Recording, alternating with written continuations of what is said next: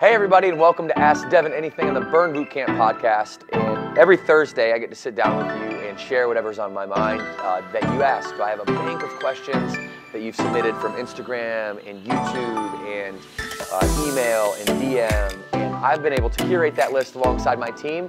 And this morning, as I was thinking, I was driving in knowing, knowing that we were going to film this today, I was thinking about, all right, what, what real life, practical, tactical advice could I give those of you out there who are either in a small business, you're an entrepreneur thinking about starting something, you're a hired gun, you're number three, four, five, six, leading your company, and you guys have big, big goals this year, or you know, you're in an organization, and we all know if you followed me for any amount of time that leadership is a choice and not a title, and you have the opportunity to start acting out these behaviors right now and, and stepping up and being a leader for your organization.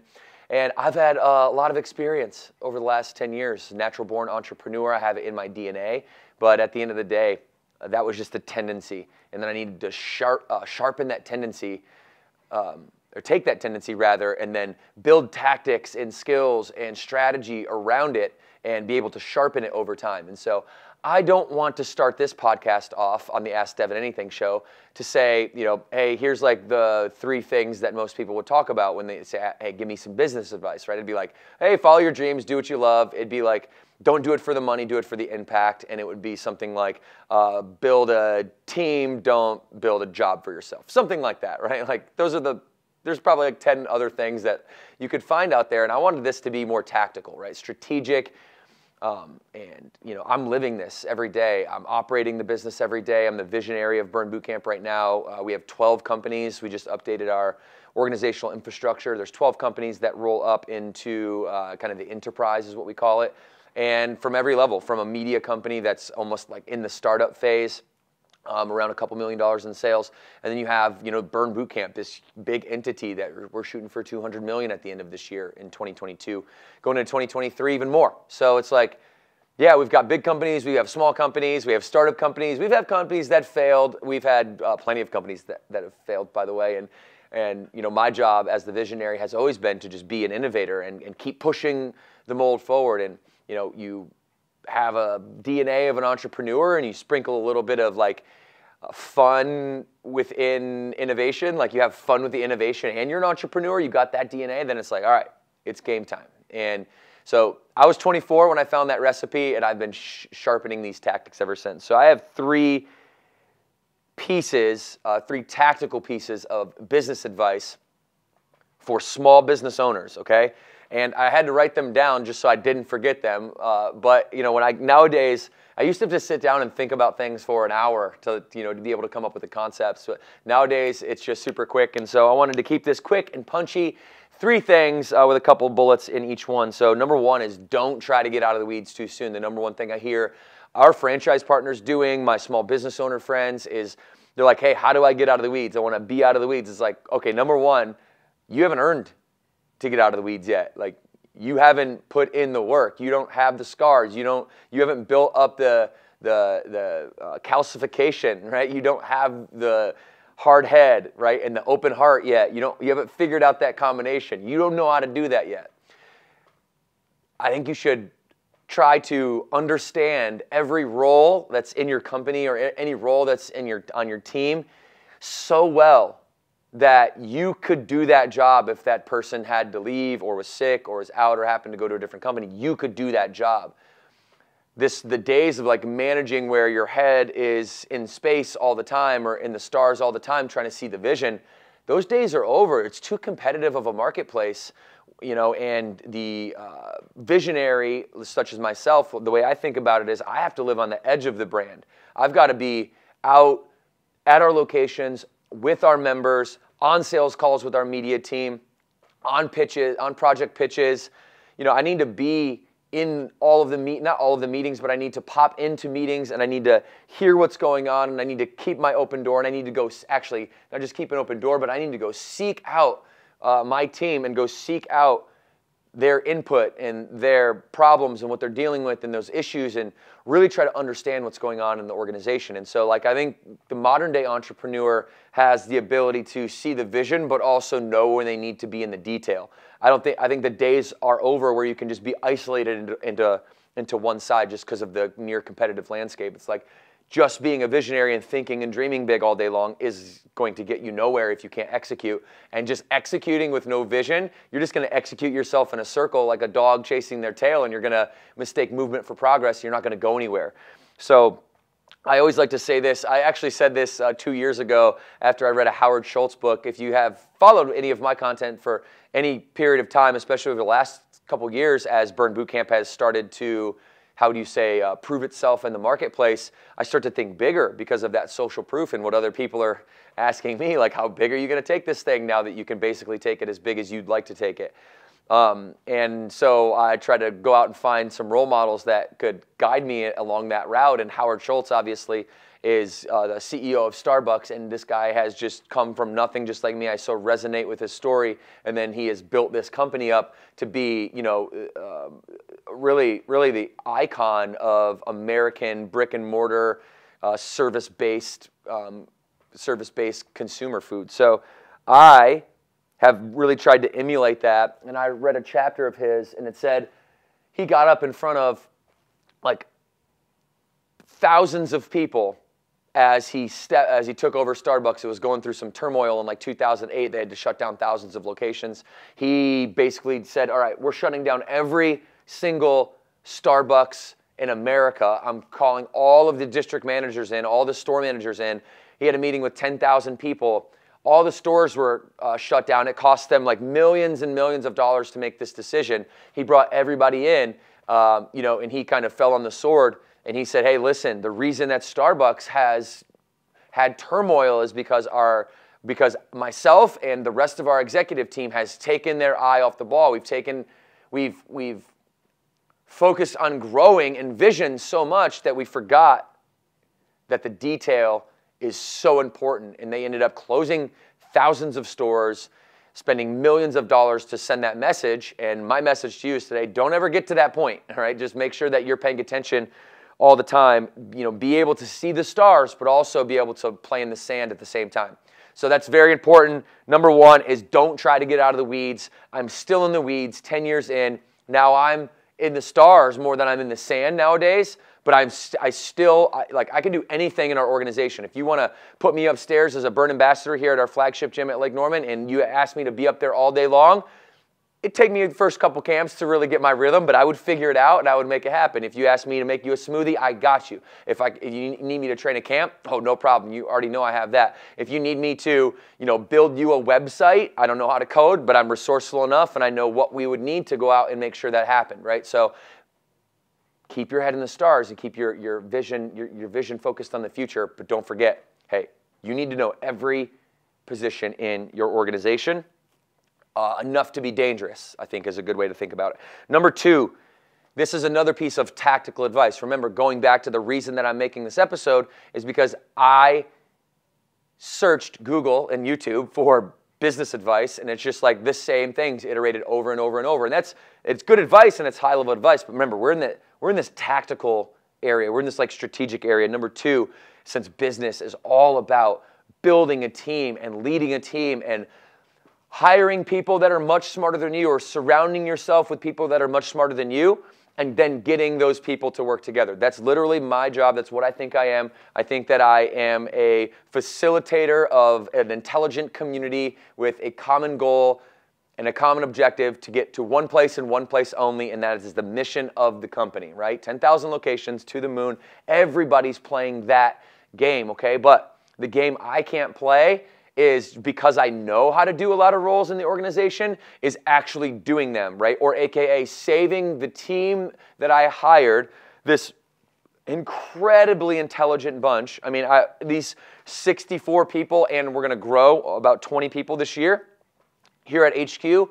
This is my family. Like these are these are my like I think about this group here as my my little brother and little sister. And I, and I, say that because I believe that I'm their mentor, right? And I believe that it's my opportunity to make sure that there's an environment where they can come in and use the creativity and the intelligence and the imagination that had, God had given them, and then do so in an environment where there's no fear, where there's only the ability to grow and not the ability to die, right? Like if you make a mistake, you're not going to get buried for it. If you make a mistake and it's within the core values of the company and you had the right intentions and there was and you're a great teammate and there's nothing malicious that you do, there's and your intent is pure, then you can make mistakes here all day long. You're never going to get a you know, a come to Jesus talk unless you go outside of the lines of what the core values are or how we behave as a team, right? Our body language on the court. I used to, when I was a, a Central Michigan Chippewa, my biggest lesson I learned there was body language because my coach, my pitching coach, um, his name was Mike Villano, and he would teach me uh, he would teach me how to just kind of calm myself down. I'm a, I'm a very energetic, outgoing, hands talking all the time person. I'll chirp at you if I'm playing sports against you. I'm a shit talker. That's just who I am. And, you know, it's part of the game. It's part of uh, just who I am naturally, right? And so I had to really bring that in as a Central Michigan Chippewa and being one of our pitchers that got some real good game time was out in you know these conference games or non-conference games in front of scouts and representing the Chippewas, I needed to realize that I was not just representing myself anymore, uh, but more importantly, I was representing the team, and that attitude was a reflection of the team. So I used to get an umpire to call a a ball when I thought it should have been a strike, and I would chirp at him and throw my hands up and roll my eyes and walk back to the mound and kick the dirt and shrug my shoulders and stare at him. And, you know, that didn't do me any good because now he's just wanting to show me up now. So next time I throw a, a ball that's maybe uh, just on the outside of the strike zone, he's not going to give it to me, right? He's not going to give it to me. But if I just were stoic and I and I just went about my business and I didn't let it bother me, then I'm more likely to I'm more likely to get some grace there. So body language is everything, and and um, and and and being a mentor for me is very important here. And I cannot, as a mentor, let my team not make mistakes. I can't have them. I can't have them never learning pain or never experiencing pain to learn from that pain. Put it this way it's like if I'm constantly trying to save my teammates from making mistakes, that's an environment where they're not going to learn. I need to step back and let them trip let them stumble, let them fumble. As long as it's not existential, right? My job is to give a directional conversation, right? And almost say, like, hey, okay, guys, here we go. We're going this direction. Everybody on board to go this direction and play this game? Great. All right. Now, here's some giant sandboxes with some parameters, right, that you can go play in. And I want you to play within that sandbox and in that direction uh, until you figure out solutions to problems. And I'm here for you. You cannot make enough mistakes. All right. You can't fail. That is my that is my obligation as somebody that brings intelligent people together to reach a common goal. All right, is I don't want to save them like a parent might try to save a child from getting bullied at school by rather than teaching them how to stick up for themselves, right? By confronting you know the parents of the bully or the bully themselves or the principal and bailing their kid out why don't you just teach your ch- child how to deal with that bully right listen I'm not here to give you parenting advice, but what I teach my children, if somebody's bullying them, I teach them to use their words twice. Say, hey, please don't do that, is the first one. Hey, please don't do that, and then and then tell your teacher, number two, okay? Number three, if that doesn't work and they put their hands on you again, pop them one right in the chest. Boom. And they are not going to mess with you anymore. The only kids that get picked on are the kids that are unwilling to stand up for themselves. And you see this in adulthood too. You see this in baseball locker rooms. this is like, I know my sports metaphors, but this is all I have. In the baseball locker room, it is a very back and forth, bantering, I would say alpha male environment. And if you're not able to banter back and forth and make fun of uh, your teammates or make fun of yourself along with you, and pick on each other and have good comebacks, if you're the person that like people are picking on you, they start to gang up on you and you cower and you go underneath and you hide under your locker, well, you're going to be the target, right? And that's going to be the bond that some other guys on the team have is to pick on you and they show up every day doing that and it's not going to be a great environment. So I can't be the coach that walks in and says, "Hey, stop picking on you know, number 13. Like, stop picking on the guy that's over there cowering in the locker room. I need to be the coach that goes to the number 13 who's cowering in the locker room and say, hey, you come in my office. Hey, these guys are picking on you.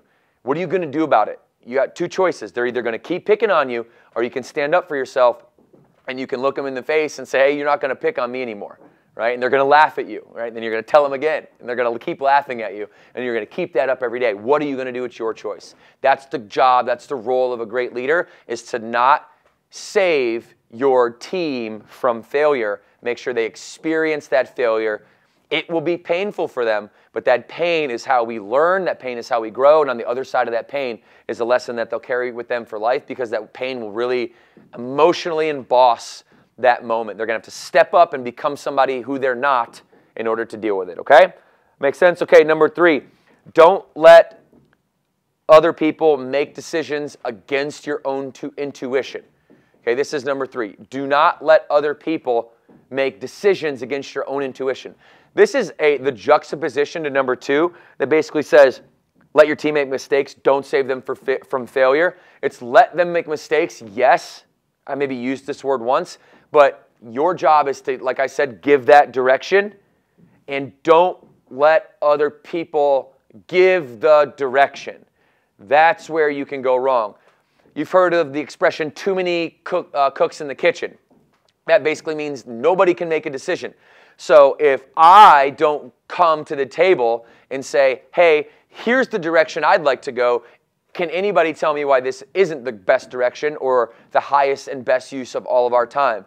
Then I'm listening. But I'm not going to walk into a room and say, hey, what direction we should go or should we go, okay? There's this classic story, and this one I like to tell, of uh, one of the most famous uh, modern day forest homes, okay, that you could ever imagine. It's out in Oregon.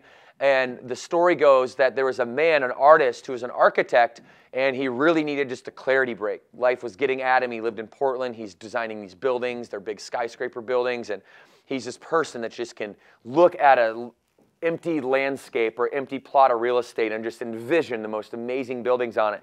The best there is in Portland, right? Okay, so he goes out to the woods somewhere in Salem, Keizer, I believe, somewhere in that area, and goes out to the woods. He's sitting on a river and he sees this beautiful opportunity, this beautiful plot of land, most times homes, you know, neck real close to rivers. There's some circumstances that have to go into making it the best, most beautiful land possible. He looks at this one space and he says, oh, that's going to be the most beautiful forest home. Okay, he doesn't ask anybody if he should draw the forest home. He doesn't ask anybody if he should architect it. He doesn't go get a, a list of people who may be interested in forest homes. He sits down on the back of a um, uh, the brown paper lunch bag that he had as he was hiking out in the forest. And he sits down and he architects this beautiful forest home that feeds a waterfall into the river. It was just a beautiful landscape, beautiful architecture. And then what he did is he went into the city and he went to the richest areas in the city and he said hey uh, i know that you need a clarity break sometimes too i'm a big designer in portland i build skyscrapers for a living here's some of my here's some of my pictures here's some of my work listen, I know you need a clarity break too. I was out in the woods. This idea hit me. You wouldn't want me to build this for you, would you? Right? And he showed them this beautiful architecture. Well, he went to 20 homes, and by the time he got to 20 homes, he had sold, I think it was around a $3.5 million home. He had sold this home off the literal back of a napkin, okay? So he didn't have all of the details. He didn't have all of the specs correct. He didn't have everything. He just had a direction. He said, hey, here's my direction. You wouldn't want to go this way, would you? You wouldn't, wouldn't want to buy this thing, would you? You wouldn't want me to design this home for you, would you? Right? And it took him 20 people to find the right exact person that wanted to play that game. And then he already had a, uh, a, direction. Now this person could come in behind him and they could work on it together and they could really build out the architecture for the home. So do you see what I'm saying? It's about giving the direction as a leader, having a direction, aka this is why so many people talk about vision. Have a vision, have a vision, right? I want to give you the strategy, the tactic on what that actually really means. It's not going around and taking someone else's vision, it's hitting yourself with inspiration, getting that spark, that aha moment, that thing that you would do for the rest of your life if you had would never get paid for it. It's tripling down on that as early in your life as you can. And then going to enough people and saying, hey, you wouldn't want to go this direction, would you? And when you do that, you're going to find your people. You're going to find the people that want to play your game. And when people want to play your game, there's inherent, uh, it's inherently more easy to build trust, to have loyalty, to build relationships that are going to last a long time. My number one goal as an entrepreneur is to have 20 to 40 VPs that have been with me for 20 years. I want people to see the future. I want them to have the direction, but I also want them to build the strategy. I want them to build the tactics, and then I want them to really go out and execute with my direction and my help and my mentorship when they need it. But I do not, I did not get into business to, or, or like I wouldn't get into a career either. This, like to me, an entrepreneurial mindset is what it takes. I don't care what organization you're in. I'm not getting into anything for a job. I'm not getting in, into anything so that I can trade my time for money. If I am getting a salary, I'm still not trading my time for money. I, I do get paid a salary by this organization. Um, some of you would be like incredibly surprised by how little this organization pays me and how much I roll and invest back into the organization. I don't show up for that salary. I show up because I'm an owner of this company and I want to I want to see how much impact that we can have. We're playing the game of how can we put a, a company in this industry which has traditionally been profit over people historically, almost with zero examples of the contrary, how do we get the top spot where it's people over profit, culture over profit? And that to me is the ultimate game. And so I'm going around saying, hey, this is the paradigm we are trying to shift. Here's what we're trying to do. Would you like to play this game with me? Would you like to play this game with me? This is not about money. This is about the impact. And then you can see everybody at HQ, which is a reflection of all 5,000 people in our organization, which is a reflection of the 120,000 people that are in and out of camps here in, in, uh, in uh, January in 2023. It's like, it starts with us. It starts with that direction. It is sh- about shifting the paradigm. Okay, that is the direction. I don't care about being the most profitable. I care about being that number one spot, whether it's membership, it could be revenue, uh, it could be amount of locations, it could be amount of people that are working out. But I know that statistic, that metric, is going to be what it takes for us to have the ability to even begin changing the conversation. Because right now, if, when we talk and we talk about mental health and emotional health, and we talk about humility and empathy and, and positivity and optimism, this is not the stuff that the industry talks about. And so, for us to be heard, we're going to have to be so damn awesome at it that nobody can deny us. Nobody can take away our voice uh, as we go there because we all know negativity speaks a thousand times loud, louder than positivity, but we're going to have the loudest positive voice and we're going to get the respect that's due to that positive voice by the results that we achieve. So the two are intertwined. It is culture and it is profit. And unfortunately, so many organizations go to profit and they don't realize that, hey, you know, like, what are you going to do with a 50, 100, uh, 500 mil? What are you going to do with a million dollars? Like, what are you going to do with it? Once, you, once enough is enough, what are you going to do with it? It's about changing your environment so that the people that come after you benefit from that. Like, that's what a legacy is, and that's, I think, what we're leaving. And so, hey, to wrap it up, these are just three these are three tactical things. All right, for us, it's don't try to get out of the weeds. That's number one. Okay? Number two, let your team make mistakes. Don't save them from failure. And number three, let other people make decisions against your own intuition. And then there's, um, oh, oh, I said that. Sorry, I said that wrong. Sorry. I'm gonna do that one more time. Okay, we're gonna we're gonna rewind that just so you guys have it. Okay, I, I went off on a tangent. and I forgot my I'll bring it back, Devan. This is what I do. Sometimes I'll just get lost in my little world. I got to bring it back. Okay. The, the title of the podcast is Three Tactical Pieces of Advice for Small Business Owners. Number one, don't try to get out of the weeds. Number two, let your team make mistakes. Don't try to save them from failure. And number three, let yourself make the directional decisions. Don't let other people set the vision. You set the vision, okay? And then there's 1,000 one million infinite other tactics that we could cover, but these are the ones that came to my mind in my drive over here this morning to speak with you. Thank you for being here. Make sure that you subscribe, to the podcast.